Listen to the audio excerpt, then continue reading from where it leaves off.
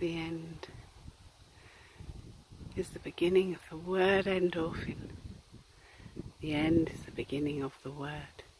The end is the beginning of love's promise to end man-made trauma, grief and pain. To end inner turmoil and confusion. To end abuse, regret and shame. To end the sickness of mind delusion. To end the trauma, grief and pain.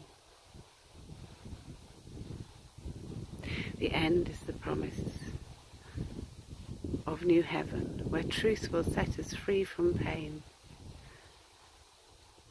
For mourning to be completed, for love to reside in us again.